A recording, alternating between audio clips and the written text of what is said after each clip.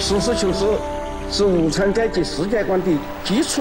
只有坚持实事求是，一切从实际出发，我们的社会主义现代化建设才能顺利发展。我们可以上大学了！目前进行的关于实践实践年正义的唯一标准问题的讨论，实际上也是要不要解放思想的争议。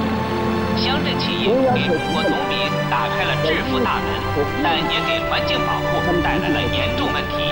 百分之四十的乡镇企业成为污染源。杜绝假货，加以培植。感觉到快，有催人跑的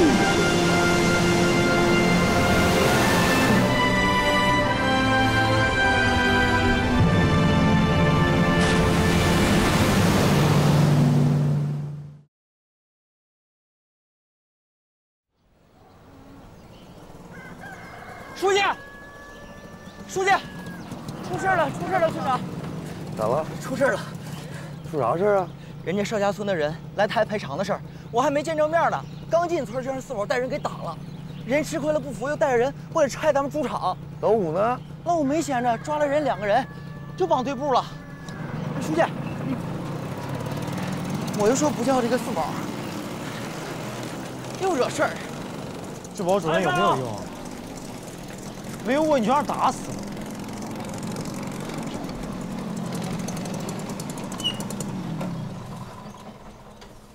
刚到，不知道什么情况。哥，就是这两个人，拆咱们猪场拆的最起劲儿。猪场拆成什么样了？扒的这小猪的培养场，一面墙都倒了，差点压死小猪长。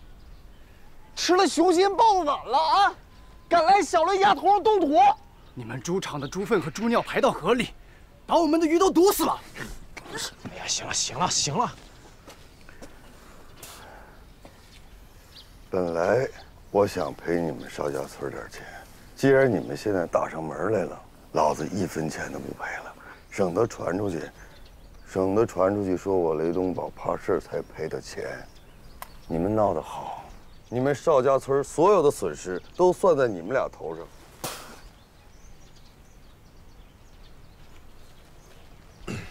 谁先动的手？他们先动手，他们那混蛋村长根本就没来，派这两个愣头青过来，二话没说，根本不是来谈判的，上来就给我一拳。你看，啊，过去打的，牙都活动了。四宝说的是实话。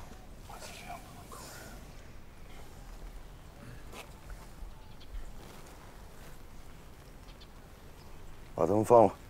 啊，哥，把人放了。你们俩是公安局啊，随便抓人扣人那是犯法的。放放放放，放了放了放了放了。我告诉你们，也就是我们书记这两年岁数大了，都回去吧脾气也小，不然扒你们一层皮。红伟，都回去吧，干活。你赶紧去拉一车砖，走走把猪场给修补好。哎，正事儿，抓紧！哎哎哎，不能修啊！哎，哥，这事儿还没完呢，他们肯定得往上找。到时候领导要是来了，咱们得保护作案现场啊，得保护就他证据。妈你懂得多，还作案现场。我本来是让四眼去谈判去，你为什么动手打人？你再给我成事不足败事有余，我给你发配到新疆去卖电线去。还有你，我怎么了？你干嘛吃的？你是不是治保主任？那我不保护他了？哥，这次真不怨我们，我们是去谈判的，结果人家上来就动手。你别说了，不是你让我去的吗？师哥，行了吧？净惹事儿一提。走了。你说气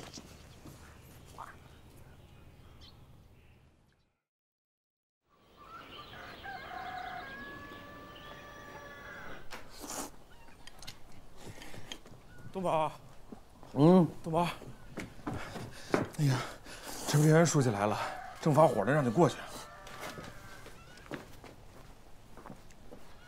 妈，我出去了啊。不是一大早的发什么火啊？我哪知道，他他让我过来找你，我就过来了。走走走。陈书记，陈书记，来这么多领导。四阳，哎，领导来了，你不倒杯水？小雷家还有没有规矩？你眼睛里头还有没有领导了你？行了，你别忙活了，先出去吧。啊，不忙，领导。你没听见啊？出去。怎么了？我刚从医院过来，邵家村的人正在抢救。现在村里人都这么金贵了，挨了几下还得抢救。那个书记啊，昨天邵家村的人带人来拆我们的养猪场，是和我们那个质保会发生了一些冲突，但是都是些皮外伤，应该不至于住院吧？是因为喝了你们小雷家污染的河水，中毒住的院。那河水不干净，是个人都知道，鱼都毒死了，他们为什么要喝呢？是因为他们没有你们小雷家有钱，装不起自来水，打不了深井，只能喝河水。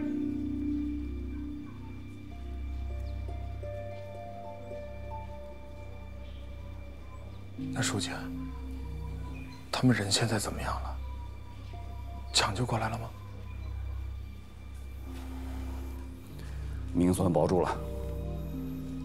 早不喝晚不喝，偏这时候。医药费我出，我来赔医药费，可以吧？刘东宝，我告诉你，市领导昨天晚上就知道这件事情了，连夜打电话叫我过去，当面质问我说：“小雷家这个先进是怎么当上的？”好啊，我现在倒要想问问你，你这个先进是怎么当的？那不是你们领导让我们快速发展经济？我要早知道的话，那我就听了小慧的。可是我没钱呢。你小舅子跟你说什么了？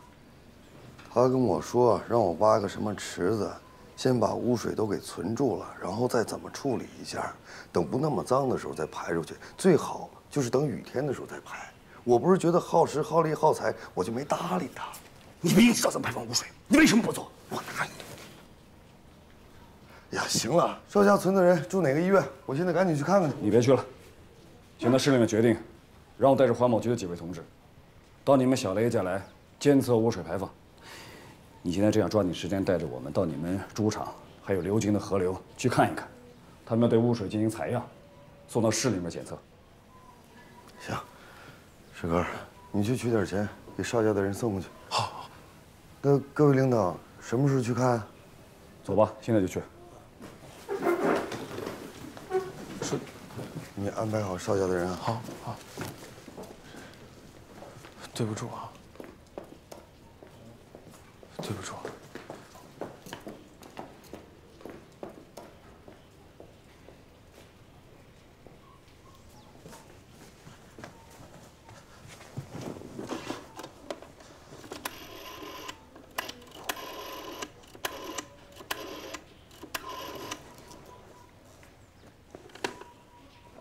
宋处长吗？我是小雷家的雷世根，出事了。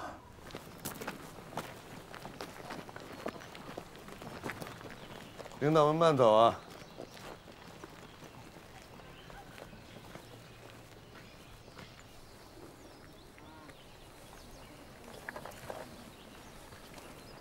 领导对这次的事情很重视，来之前特意嘱咐我，千万不要跟你打招呼，就是想抓第一手真实资料。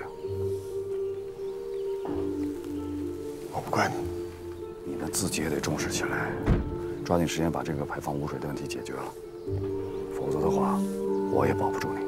真的要关猪场啊？那不行，贷款和利息我还得还他。猪场现在是市里和县里的典型，一时半会儿不会给你关上，但是排污的罚款肯定少不了。最关键的呀，关键什么？你这个仙境这次有可能会被撸了。我还当多大的事儿呢？没了就没了呗，仙境不能当饭吃。你这个仙境要是没了，你收购电线厂的资格也就没了。凭什么？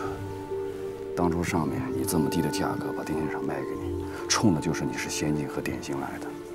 你说你现在把事情闹这么大，影响这么恶劣，领导已经明确表态了，收购电线厂一事暂缓。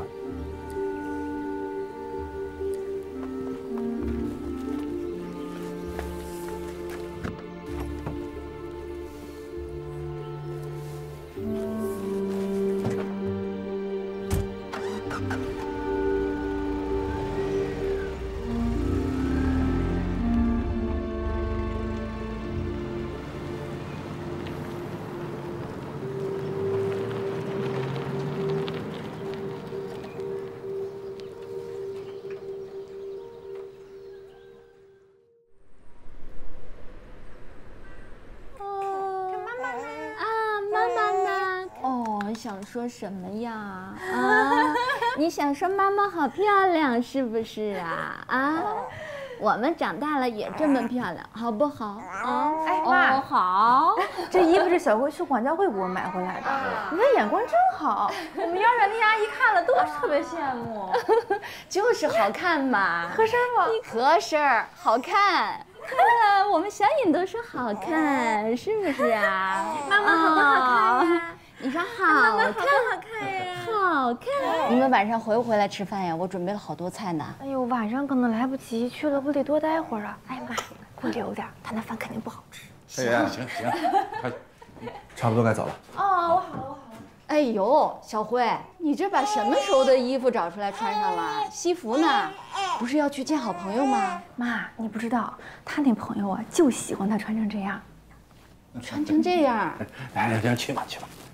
哎呦，小颖，宝贝，看看爸爸。颖，啊，咱们爸爸说什么呀？爸爸妈妈要走了，在这要听爷爷奶奶的话啊。啊，答应了，真乖，真哎乖。呀，我们答应了，你说再见。行了，快去吧。爸爸，我们走了啊。好嘞，好嘞，好早点回来好啊。好哎，哦，爸爸哎妈妈走了。来来来看看。对了，你不是一直都不太喜欢于山青吗？怎么这次去他家做客那么热心？那也没有喜欢不喜欢，毕竟是你朋友嘛。你说他请咱们，你不去我也不去，弄得咱们对他们有意见似的，多不好啊！哎，你听说了吗？说他们家装的特别豪华，去过的都说全荆州就没见过这样的装修。那你就去见识见识。你说他也真是，不就是搬个家吗？还弄个什么 party？要不是你告诉我，我都没听过什么叫 party。小鱼是上海人嘛，洋气。洋气有什么？再洋气，他不还是住那科长楼？你别看咱们家家具少，我们可是出长楼的。哎，那你也快去忙吧。好吧，那我走了。嗯走吧。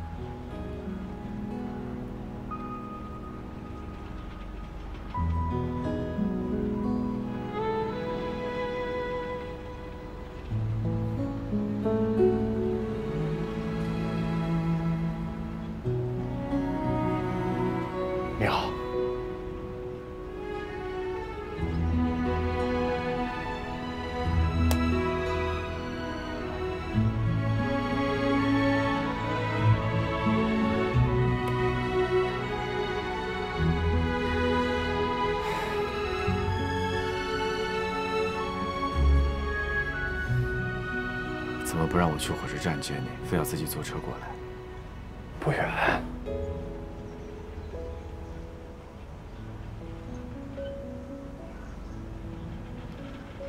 走吧。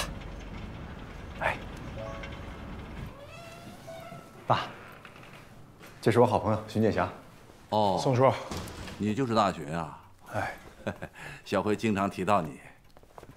爸，小尹呢？让他荀伯伯看看。困了，你妈刚哄他睡着。坐吧。哎，来坐。来啦。哎，阿姨。哎啊，快吃饭吧，我都做好了。睡了。睡了。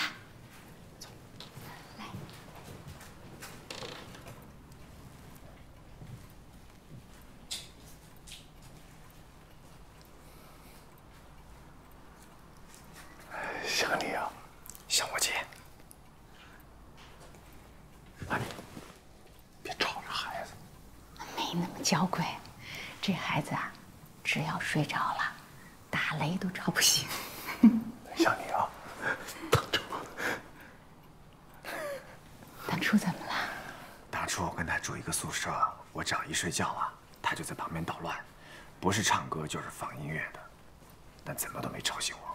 我那时候太讨厌了，这孩子。其实有时候我醒了也装作没醒，就是不能让你得逞。走，吃饭去。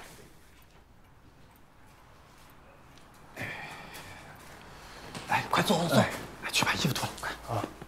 爸还有菜吗，有。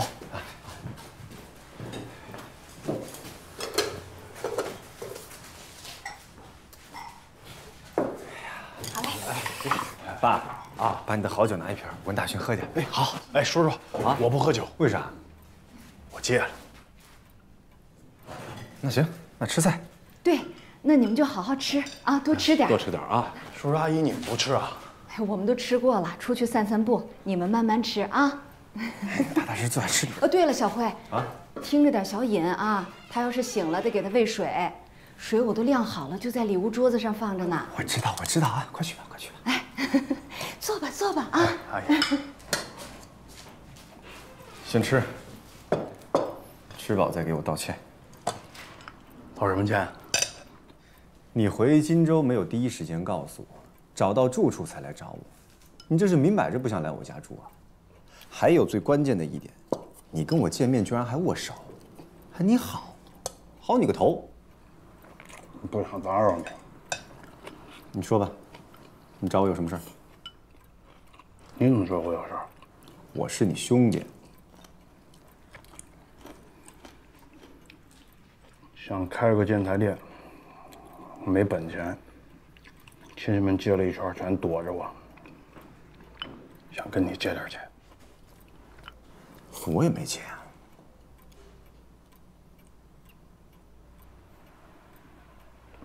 没事。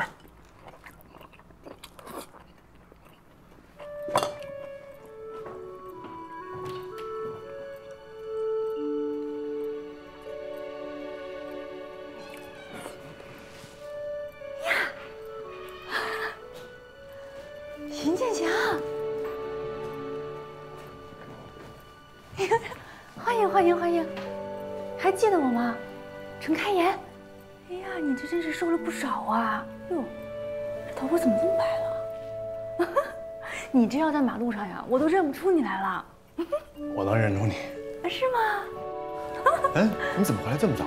嗨，你还说呢？我们那儿吃完饭啊，说是要听什么交响乐，要试试日本进口的新音响，那玩意儿我哪听得懂啊？我还不如回来陪陪你呢。呀，小雨睡觉了。是在里边。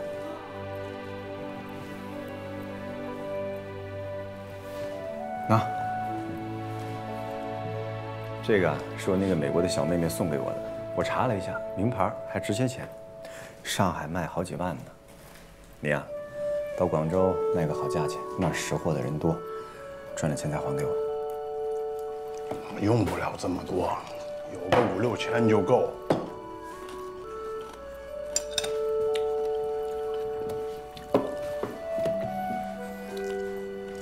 徐建强，我说话可能不太好听，但你也得听着。你身份不同，同样开一家小店，都从二道贩子手里批发，卖一样的价钱。你说别人是选你家还是选别人家？人家当然会选那些可靠点的店子了。你还不能降价，降价你就没得挣。所以你必须起点比别人高点，投入比别人大点，批发零售一起卖，你才有的赚。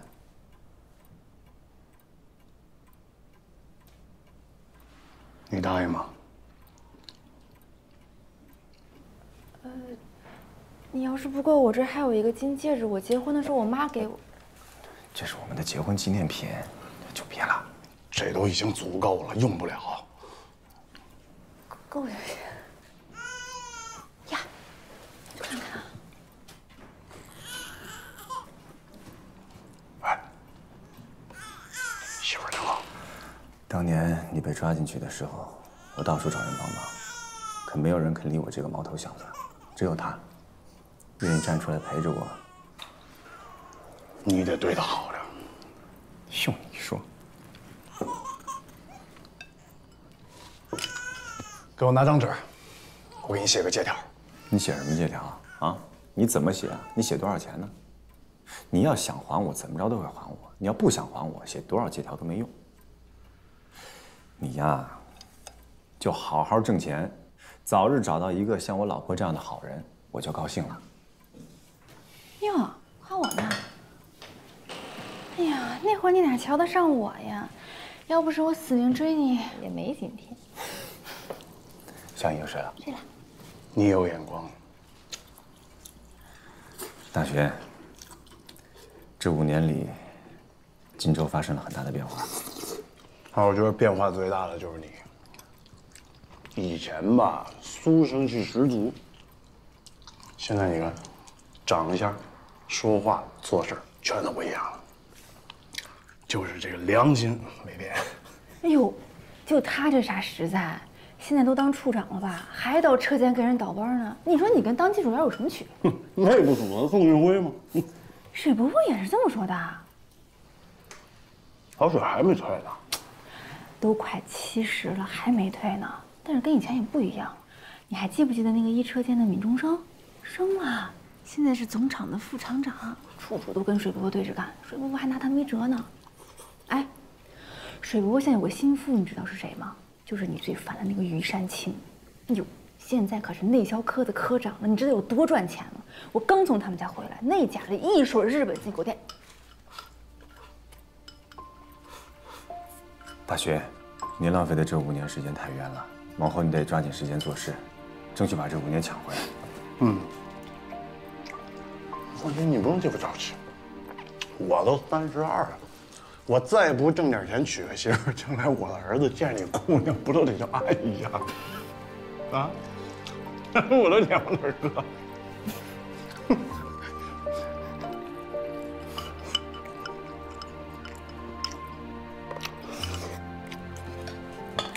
我也不跟你俩假客气了啊！哎，那个钱我已经借着了，明天我就去广东，等我回来挣了钱，我请你们俩吃饭。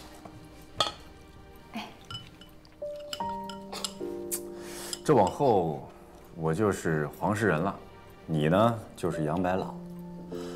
过年过节你得给我交租送粮了啊！来，吃吃吃，多吃点，多吃点。嗯，够了，我够了，我够了，我把店吃了就走了。啊？嗯，这么快就走了？我回去了。我送你，等我一下。行啊，都会开车了。我和司机班的人关系都处得不错。谢谢。谢什么？你能穿这身旧的工作服来见我，就好像回到了过去。别废话。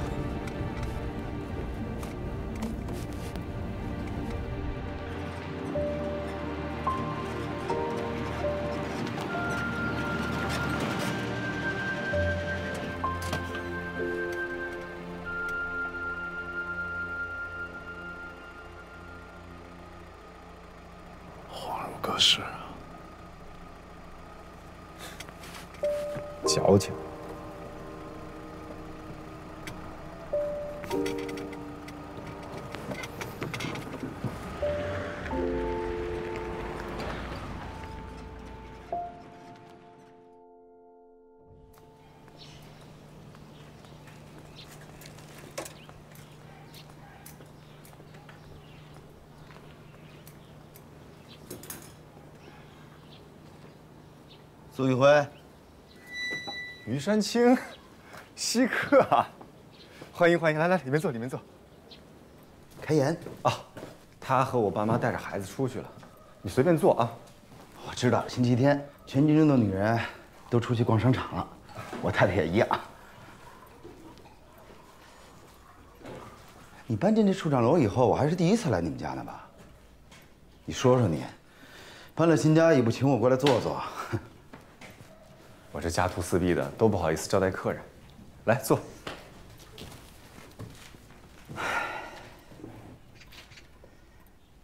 你现在是不是不把我当朋友了？你这话从何说起啊？那天我家搬新居开 party，请你来你都不露面，我很伤心。正好有朋友来，脱不开身嘛。你有事我不跟你计较，但你还让弟妹给我送礼物来，太见外了。一套冰箱贴而已，我都不好意思拿出手，怕你嫌弃。什么话？很难得的礼物，我跟我太太都非常喜欢。喜欢就好。既然你都送给我礼物了，那我这点小心意就当是回礼。你看，你也必须要收下，不然我可真的要生气了。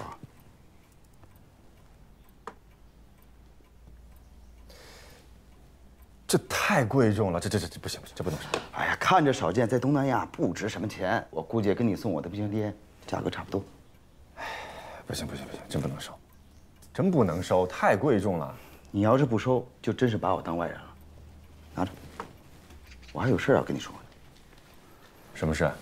是这样，我有一位大买主希望采购一批新车间的产品，用作他们出口产品的生产原料。可是我一问，新车间近两个月的产品全都交给你们外贸订单了，根本不可能匀给我哪怕小小的一吨。所以我就来找你商量，通融一下，匀给我一千吨。我的这位大买主对于总厂而言都是十分重要的大客户。这个事儿要紧，你得赶紧跟水书记说，让总调那边安排新车间去生产。水书记不是要去美国考察吗？这点事情总麻烦领导亲力亲为，多不好。那我得先去总调那边查看一下工作进度，才能答复你啊。我都问过了，总调说产能只有这些，国际友谊第一。你的外贸订单又是紧扣时间，不能拖延，万一耽误了，要赔给外商美金，根本不可能安排我的一千吨。你看，新车间的产品基本上都是用于出口，我在订单上签时间也是按照设备产能来签的，几乎很少打出时间余量。否则新车间产品压库，创汇不足，影响奖金的话，去年部里抓亏损的事又得重演，车间也得找我造反。我可是听说，你年初的时候有过一次例外，对不对？我不管啊，今天无论如何你也要答应我一次，要不我就去找水书记汇报，听他跟你说。年初那次是因为外贸订单激增造成的，新车间上下也忙活了近半个月才搞定。你真内销这块啊，我还是建议你让水书记压下去。水书记可以呀，可压下去之后，新车间那边还不得要你去拉负荷？你不去总空盯着，他们谁敢拉？但是不管怎样，这个礼物我不能收。这件事情我可以去新车间调配一下进度，要是能凑出生产余量，我一定帮你，行吗？那好，我就先去找水书记汇报。要是老水同意了，你这边可得全力配合我。走了，我送你。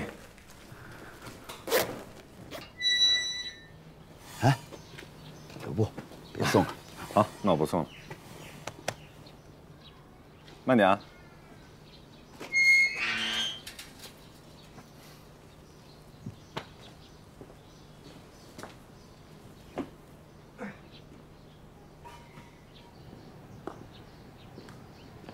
小宋处长，刘总，收拾院子呢？啊，来，快进来。我看这个前前后后的院子，叔你收拾的利索，啊，这儿还有块菜地，这都是我爸弄的。他年轻的时候啊，就爱种些花花草草的，挺好，挺好。你看看人家。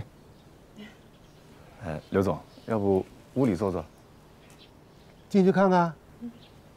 好。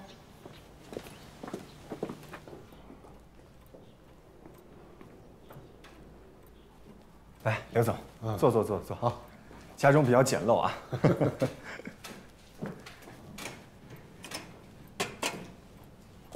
小两口住这儿。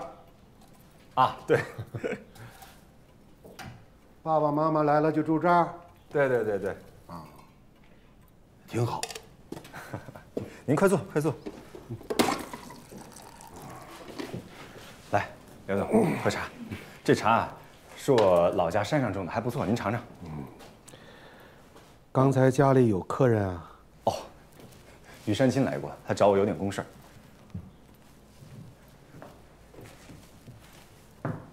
现在这个总厂上上下下的年轻人没事就打家具，你好歹也那个下过基层，自己动手应该不费劲儿吧？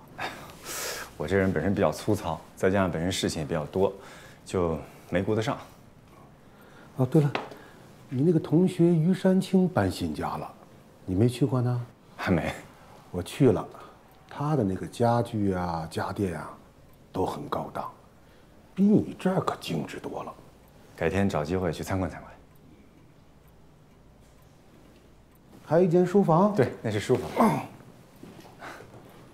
哦，请人喝茶啊。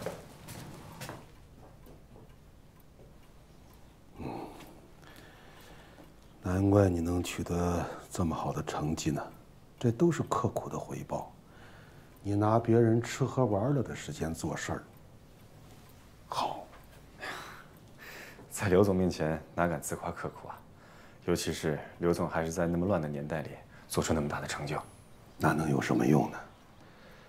做技术辛苦，也容易被淘汰，没这么多花哨。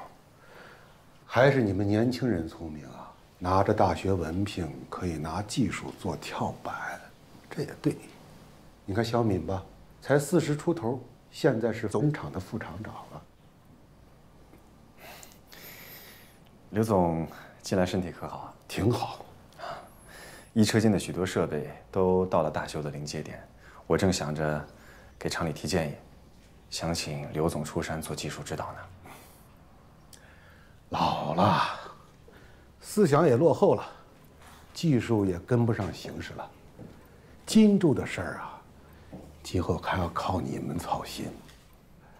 我们冒昧的来打扰了。没有没有。咱走吧，你张叔叔、王伯伯还等着咱们呢。啊，行，你还有事儿啊？我转转。嗯，好，走。好。刘总以后有空常来坐坐。最近可能没时间，厂里不是组织这些退休人员去北京吗？等回来吧。好啊，好啊。那刘总慢走。好。哎，小宋啊。啊。你等一会儿。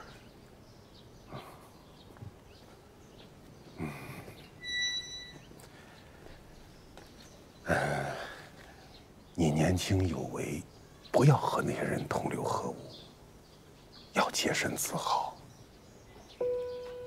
啊，谢谢刘总提醒。老水去美国是你安排的吧？是出口科的一个客户邀请他去美国实地考察。邀请他去考察？嗯，他去考察什么呀？他连 A、B、C 都说不清楚。啊，水书记还是水书记啊。啊，考察。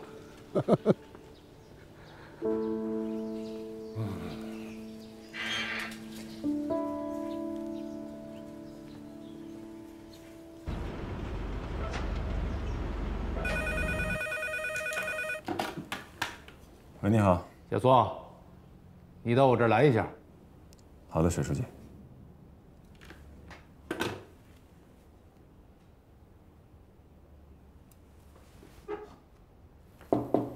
进来。水书记，我正要找您呢。啊，坐。喝水自己倒。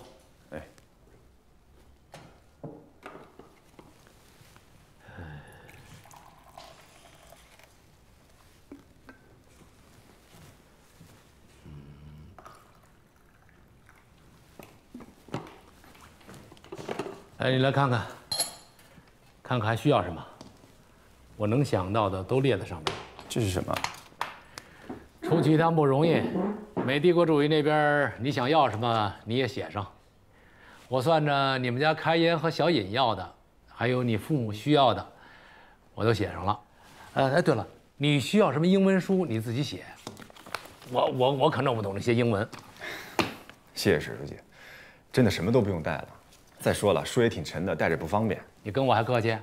这些年你是出了几趟国，可是那点补助，全都买了参考书了吧？老程说你们家开颜对你很有些意见，师傅这是在给你搞安定团结，啊，有什么尽管写，反正我出去带的人多，不会让我自己提行李的。那我可就真不客气了。不用想着给我省钱，我出去的补助比你高得多。行。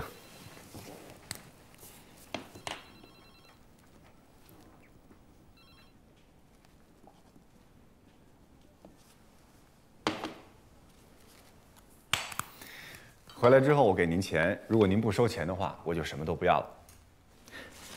你要的书我收钱，剩下的算我给开颜和你父母的礼物。那也太多了，你少跟我废话。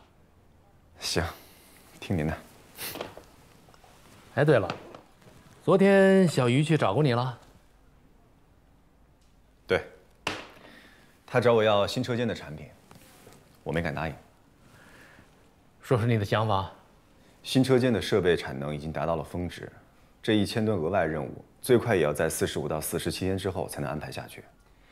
那这样，在你那些外销的订单里，找一些不重要的，拖他四十五天再交货。这些内销的订单必须马上安排。外销订单是要按照国际贸易程序来的，延迟交货是要罚款的。内销的压力也很大，这些订单不完成，造成的损失。远比交些罚款要高啊！关于这批出口转内销的产品，我有个问题要问。说，这一千吨产品是按照什么样的价格转给内销客户？内销的客户自然是按照内销的价格呀。可内销价格比外销低得多，这样算下来，荆州不是很吃亏吗？你当你师傅不会算账？价格高低在那儿摆着，我为什么要把你的产品鸡蛋当土豆卖？我有我的难处，荆州也有荆州的难处。水书记，为了大局，我可以服从这个命令。但是挪用出口产品给内销，这并不是最合理的解决方式。那你有什么好办法？我可等不了四十五天。我可以去总调进行协同，同时想办法让新车间上拉负荷，争取在一个月之内上交这一千吨产品。太慢了，我等不了。二十五天，不能再快了。那就先给内销调用，你的那些外销的单子，拖他二十五天再交货。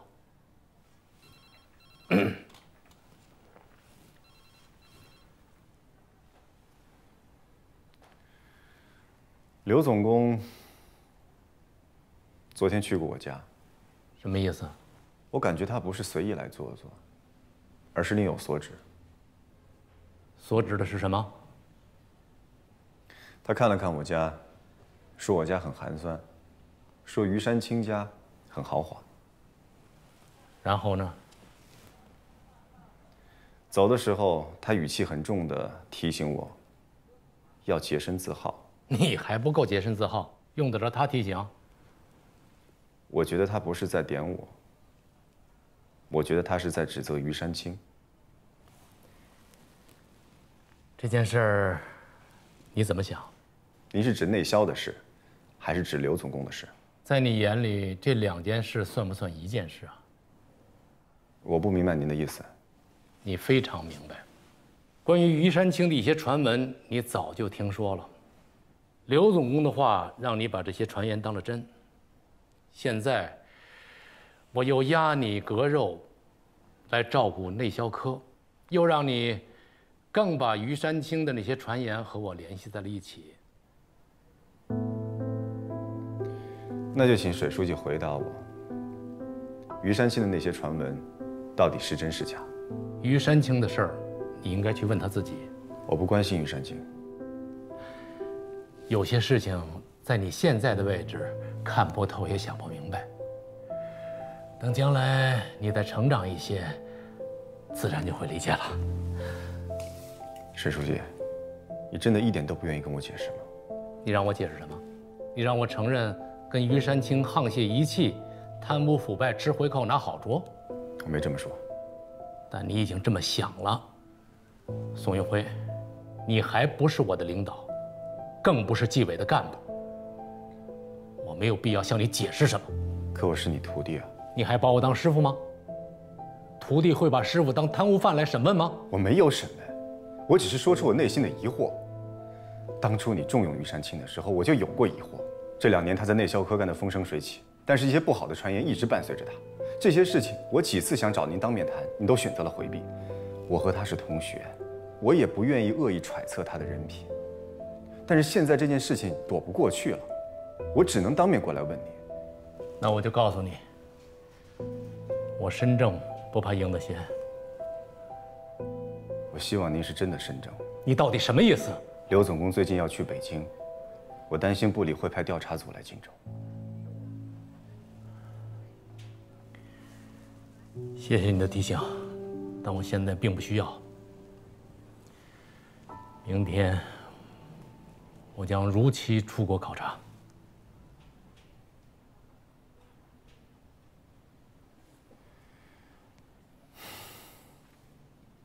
那我错了。等一等，内销科要的那一千吨产品，这个星期之内，你必须交出来。外贸订单不能延误，一个星期我交不出来。但我会尽力去拉高新车间的负荷，争取用最快的速度完成那一千吨产品。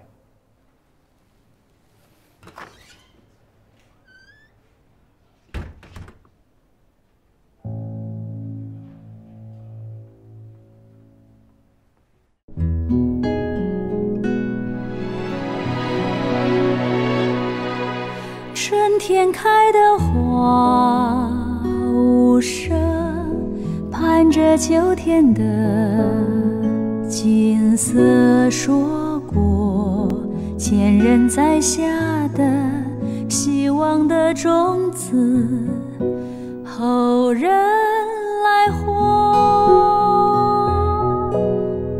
夏天的骄阳如火。泛起层层波，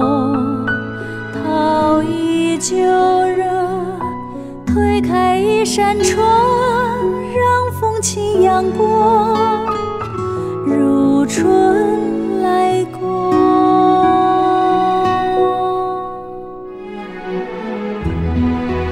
冬天的风雪掠过，给秋天带来。